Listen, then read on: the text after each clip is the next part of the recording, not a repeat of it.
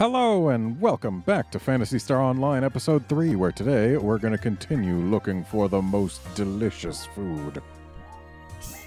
So let's get that quest going. I'm searching for a certain food. Ah, but I suppose I said that last time. According to secret info on Net 5, the shop is now using the Tower of Caelum to make deliveries. This time the information is good. Ooh, I want to eat it. All right. So let's let's go with her. Have you heard that new singer on Net 5? He's been doing covers of old songs lately, but with so much energy and feeling. His music really rocks. Uh, hmm. Now what was it? It um what was it? Oh, I can't remember. I'm sure this had something to do with that shop, but I just can't remember.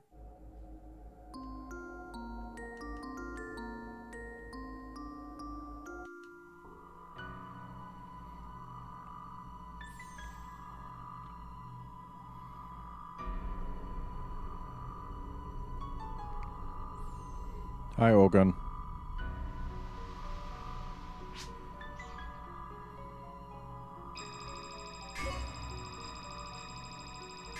Can't just let the arcs run around looking for cakes.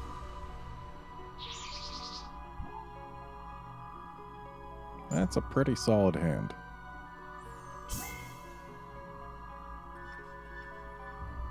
Start dice.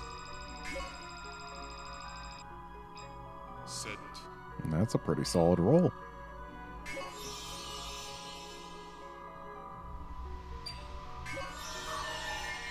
And now we've got four points used.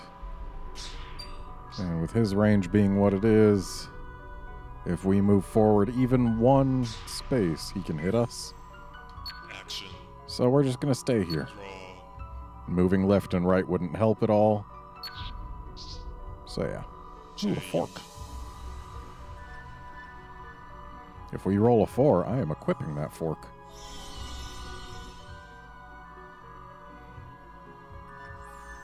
All right, so he's got a Pofuilly slime out, but we've got a barrier, so it can do literally nothing to us without him spending action cards for it.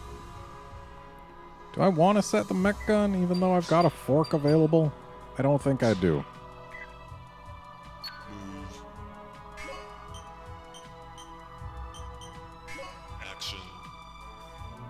No need to foe it. You can still freeze it. Nope.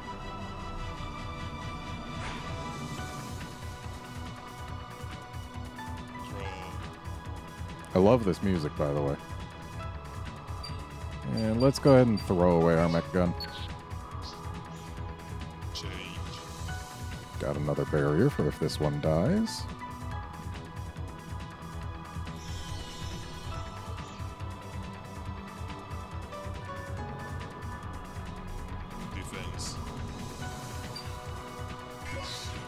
Nice try, buddy. Gonna have to kill that love rappy before he gets any XP.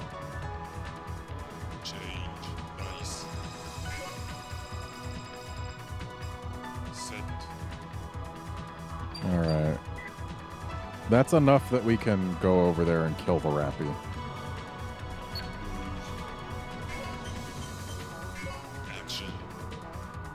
Not gonna cast Foie, that would be a little bit of a waste.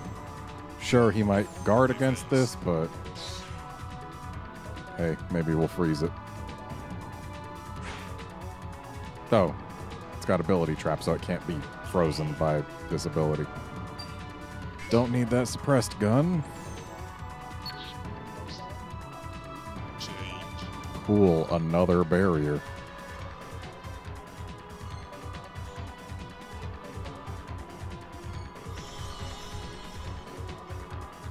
All right, we got two slimes on the field. It's not really any worse than one. Though I am a little surrounded now. Defense. Okay, no thank you. Though we are definitely losing this barrier this round, which is unfortunate because it means that Rappy will have some XP. So if we get a 2, then we'll go ahead and murder the Rappy. Preferably a 5 or a 6. Yeah. So now we can use this fork. And we can use this barrier. Can't move nowhere. So they both got TP plus 3. So that's just Ice Staff, Foie the Rappy. Okay.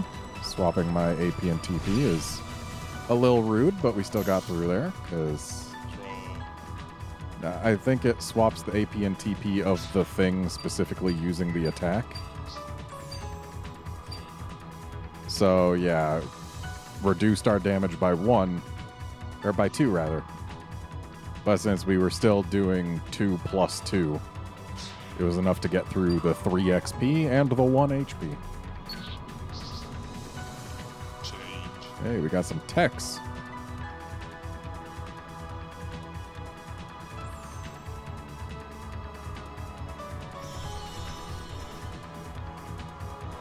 Okay, no idea why he would set that way over there, but I'll take it.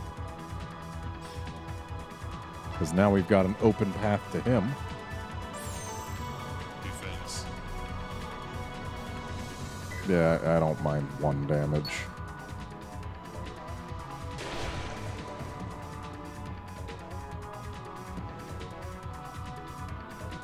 Two damage is a little worse. Yeah. Let's keep this barrier for at least one more attack.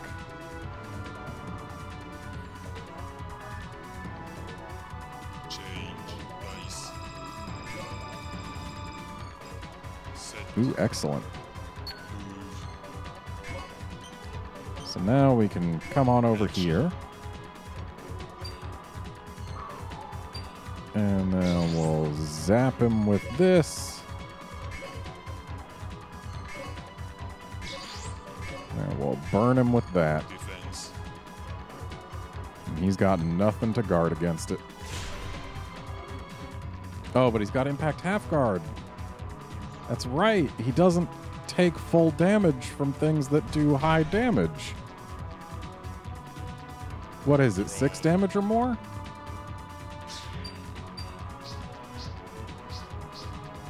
Yeah. Okay, so it was a bad idea to bring Ino'lis because if we're using techs, she'll never be doing less than that. Not with the equipment we've got.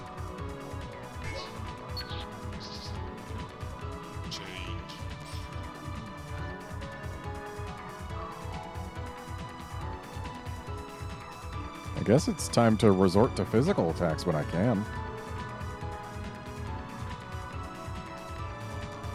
He had to spend a bunch of points getting to where he is, so.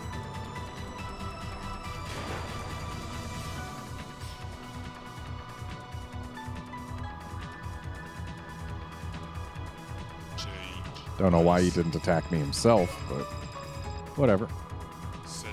I can see he did put his Mothman in the way.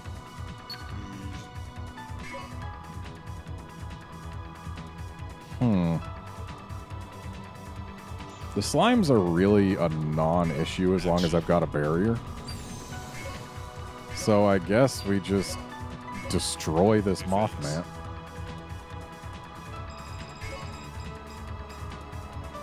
Haha, it's frozen. I like how it still floats up and down, but the ice doesn't.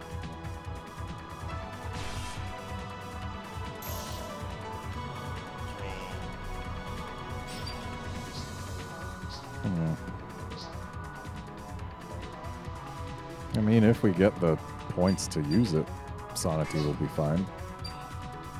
But we'd pretty much have to loot... Well, not pretty much. We would have to lose our fork or our staff.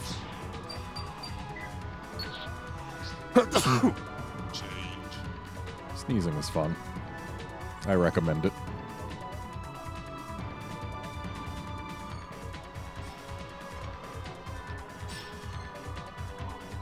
Okay, we're cornered. Now we have to kill a slime. Goodbye, barrier. You will be missed. Also, we don't have anything to defend, so we might actually lose our staff or something sooner rather than later. Or not. They were just moving to block me, I guess.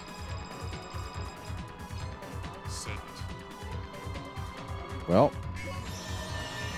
got that back.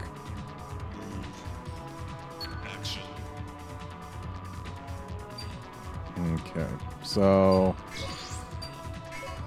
let's do that. Really should have done it the other way around. Should have foed this one and staffed that one. Oh well, Defense. I made a mistake. I like how you can't see my equipment through the slimes. Like they're transparent, but it looks like I'm holding nothing when you're looking through the slimes. Hey, it's frozen.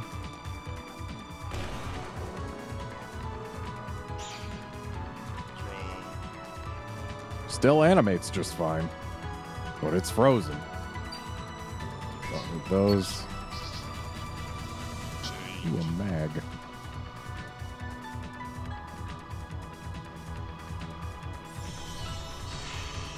Okay. Golvolmer's actually not so bad, considering we're not a melee character, so having less AP doesn't matter too much. But then again, I I do have to use melee attacks to get any damage on this guy. So this will do four. That's not going to get half guarded.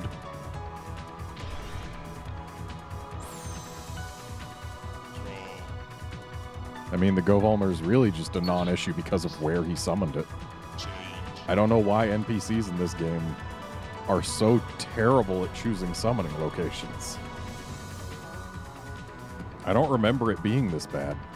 Wow, he is really just trying to get away.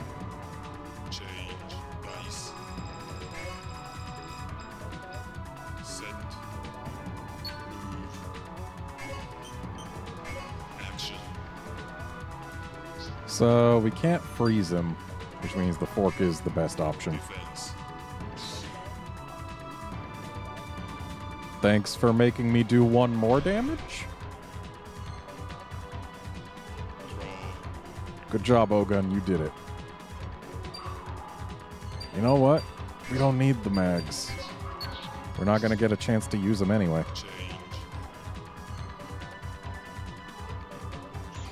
Oh, he rolled a big number. And he's still just trying to run away. Oh, and he couldn't even block me off.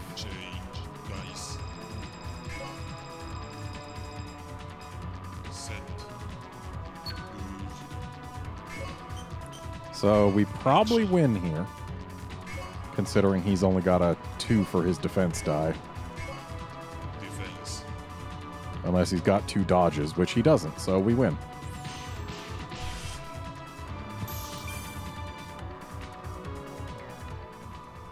Really, a D? I guess it did take a while, and we didn't do any really big hits because impact half guard, but whatever.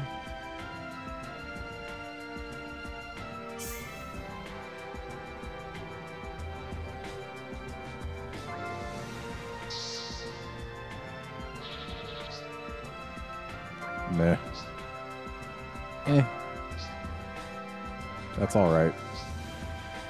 Mm, meh. And that has potential. Aerial assassin. All right, so it's mostly just a stat stick. Good range. Very good HP. Very good AP. Cost is a little high. But honestly, I wouldn't mind equipping that. So that'll probably go into the Ranger deck at some point. They weren't there this time either?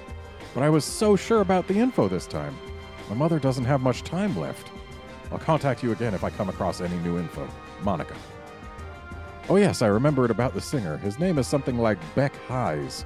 He sings my mother's favorite songs. They're all old songs, but anyway.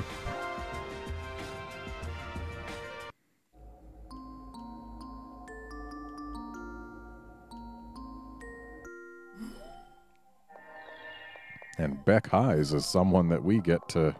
Actually, I think we've already met him, but we definitely get to meet him in the Arcs campaign. And now for our test of power.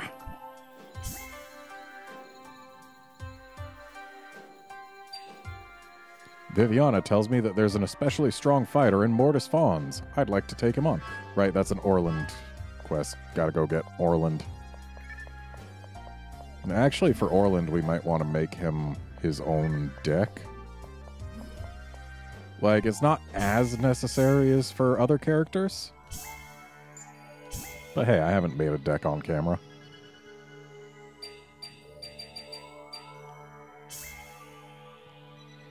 And even if it's not super necessary to make him his own deck, it does help. So we're starting down here at the bottom. Dice plus one's always good. Definitely want three guards, one reduce, three dodges. Don't really need any techs. Sword attack, absolutely. And a few action cards. Definitely the mag. Couple of shields, a barrier. And then the rest, all sword type things.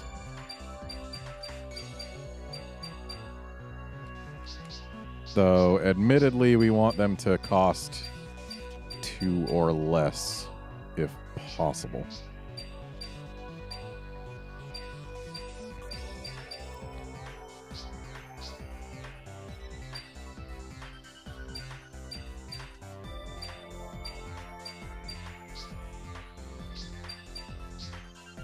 Wish we had more good sword type things that cost two or less. But I guess we'll go with this Dragon Slayer. Or, nah, let's get more daggers.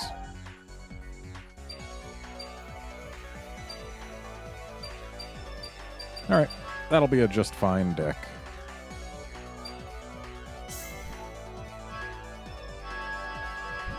Whoops, press B one time too many.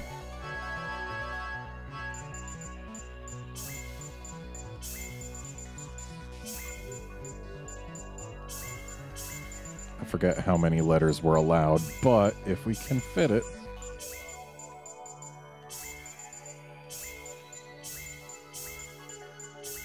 Oh, can't pluralize it, but somehow that makes it even better.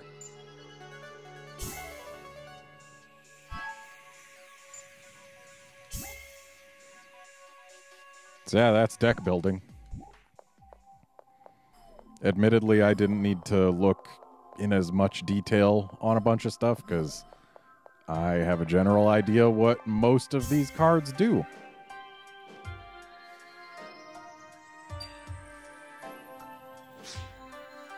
Uh, looks like there's more than one fighter in Mortis Fons. But that is just potentially good for us because, ooh, minimum roll four.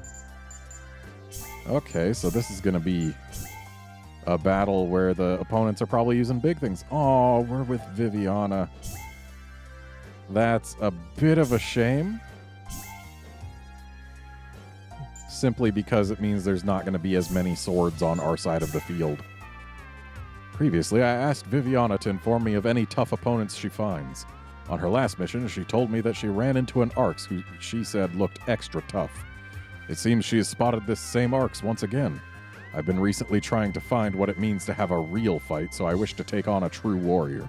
Please allow me to fight this opponent. All right.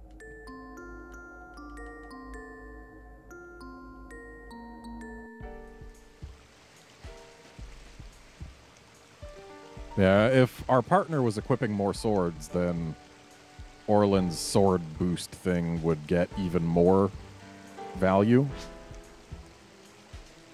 But she's a force, so she's not going to use a million swords. Wow, really, Casey? You're saying nothing? Oh, good stance, huh? I mean, it's the same stance that you've got going on. Well, it would be if you weren't holding a weapon. And we've got our mag, so we keep this hand. Also, I keep on using the right C stick to try and select things because in almost every other situation when you're not in a quest, you can use the right C stick. Well, I guess it's just the C stick. You can use the C stick to select menu options, but in a quest, it's camera control.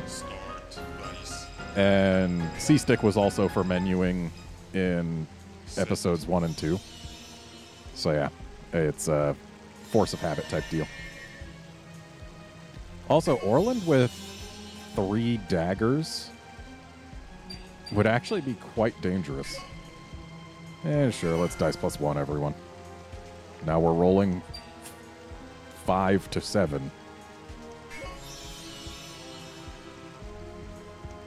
And I don't really feel the need to move forward right now.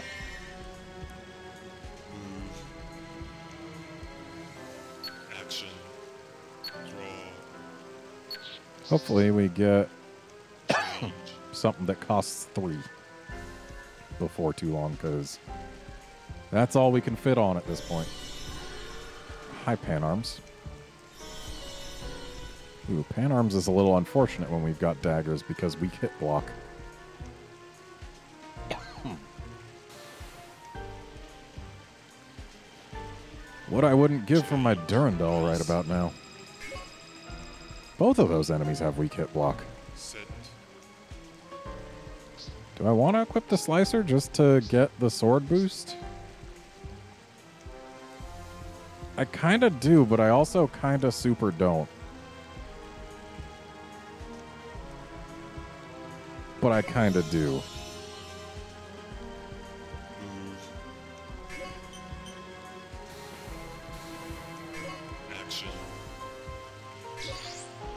All right, so that will be a thing. Oh, there goes that Morphos.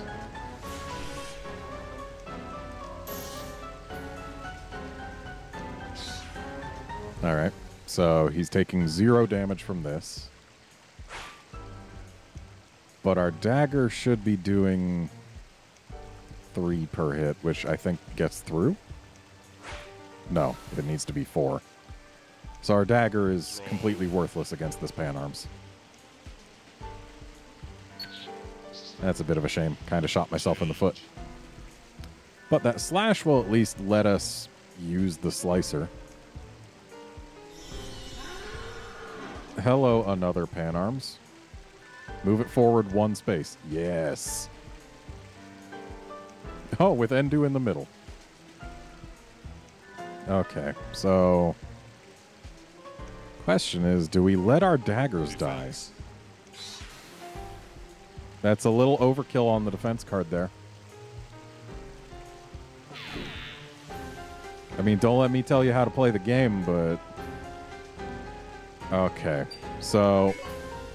We have to save our mag. We have to. We have to. And keeping the shield healthy is.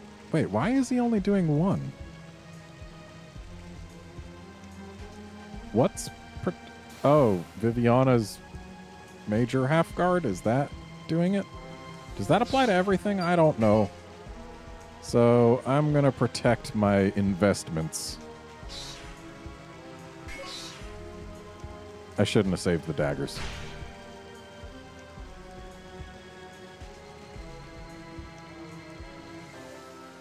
That's fine. There's nothing paralyzed, so paralyzed death means nothing.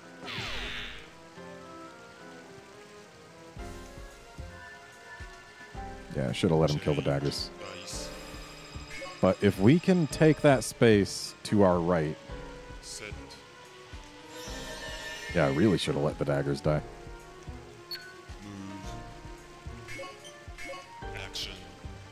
Then we can go ahead and slash with this, but first. No, I, I can't attack with it. So we'll just do this to check for a defense card. And then we'll attack slash. And that might clear out the pan arms. Well, that one's gone.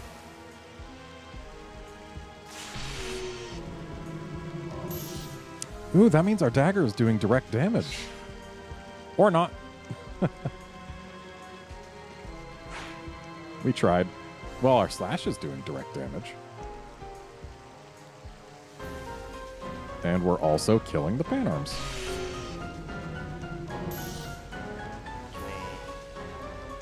Okay, we don't super need more daggers. And honestly, we don't super need this saber. Hey, look, more daggers.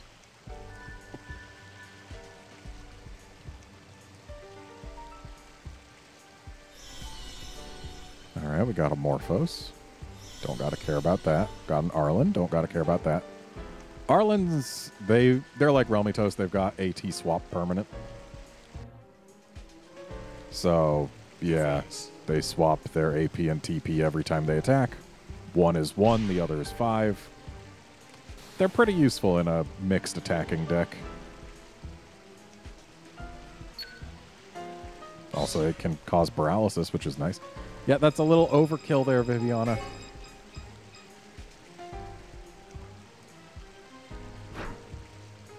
Good, he didn't paralyze my shield. Change dice.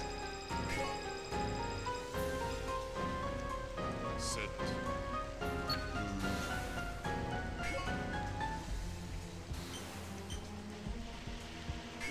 Action.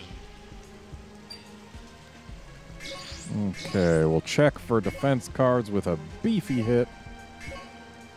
And then we'll kill him. Defense.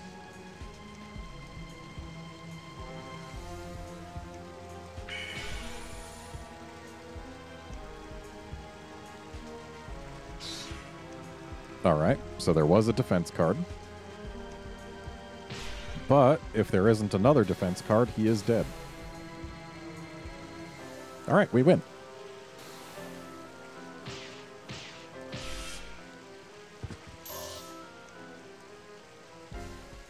Ooh. I like getting a B.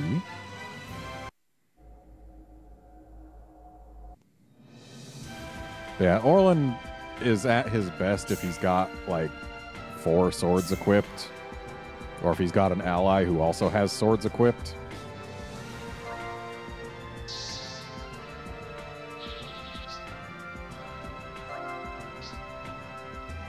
Photon Claw is alright. Another Native Guard.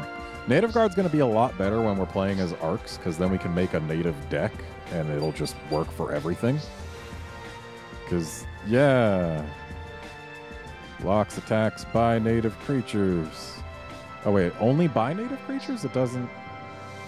No, it, it also blocks attacks for native creatures, right?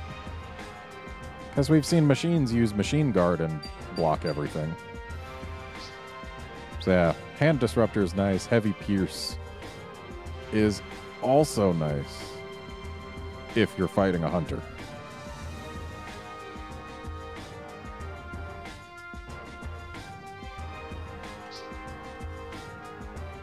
So yeah. Not so good for fighting arcs, which unfortunately means it's actually kind of worthless for us. For the first time in ages, I fought with all of my spirit. Indeed, the one called KC is quite skilled. I hope to be able to do battle with him again before my relit flame of fighting passion burns out. Wait, I thought he was going to be talking about Endu. KC's not a swordsman. Also, we didn't even kill him.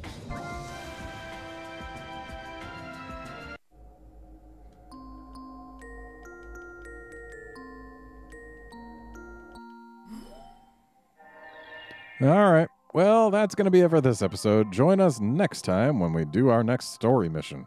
See you then, friends.